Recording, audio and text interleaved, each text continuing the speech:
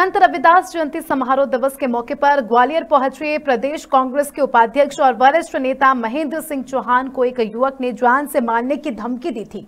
अज्ञात युवक की जान से मारने की धमकी का मामला ग्वालियर पुलिस अभी तक नहीं सुलझा सकी है। इससे नाराज़ कांग्रेस ने एसपी ऑफ़िस पहुंचकर ज्ञापन दिया और शीघ्र कार्रवाई की मांग की।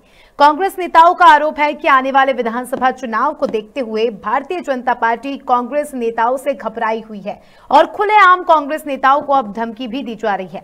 इस मामले में पुलिस ने जल्द से जल्द कार्रवाई कर आरोपियों को पकड़े जाने की बात कही। पुलिस अधिकारियों ने भी मामले में उचित कार्रवाई करने का आश्वासन भी दिया।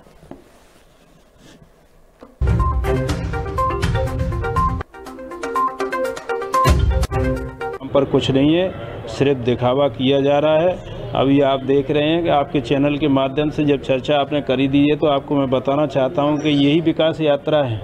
इसका ही नाम विकास यात्रा है कि लोग सुरक्षित नहीं हैं, लोगों को न्याय नहीं मिल पा रहा है, लोगों के विकास कार्य नहीं हो रहे हैं, लोगों के साथ अन्याय, अत्याचार हो रहा है, यही विकास यात्रा है। उसमें हमारे मध्य प्रदेश कांग्रेस कमेटी के उपाध्यक्ष और यहाँ के प्रभारी मेन चौन साहब आए थे तो वहाँ पर हम सभी लोग कांग्रेसी, वहाँ पर निरीक्षण कर रहे थे ग्राउंड का, दशहरे मैदान का।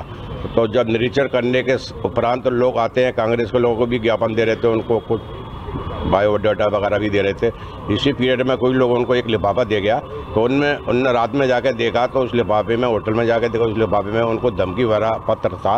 यहाँ पर जो ज्ञापन अभी पुलिस अधीक्षक कार्यालय में पेश किया गया है कांग्रेस के पार्टी के द्वारा उसमें ये बताया गया है कि उनके जो जिला के उपाध्यक्ष है उनको एक जान से मारने की धमकी और एक धमकी भरा पत्र उन, उनको प्राप्त हुआ है जिसको पुलिस की टीम ने जब्त भी कर लिया है और उस पर हम लोग जल्द से जल्द कार्रवाई कर उसको पता कराने की कोशिश करेंगे।